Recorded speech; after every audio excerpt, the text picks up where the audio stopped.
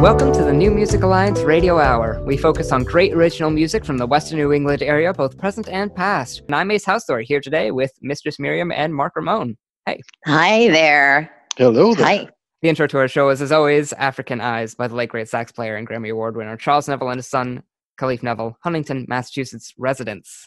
Um, I'm so glad you guys could join me on this show and all the listeners could join me because this um, I put this together as a tribute to the class of 2020 because Ooh. of the pandemic. They were unable to have uh, a, a commencement in person, and all of the artists that um, were playing tonight went to college in Western Massachusetts or Northern Connecticut. So That's a this great is- idea. well, thank you. Thank you. I have them once in a blue moon. Uh, but uh, you know, this is this is my tribute, and uh, I'm glad everybody could join me. Um, we are about to listen to the first artist, which is Darlingside, who, by the way, met at Williams College and started doing their music at college.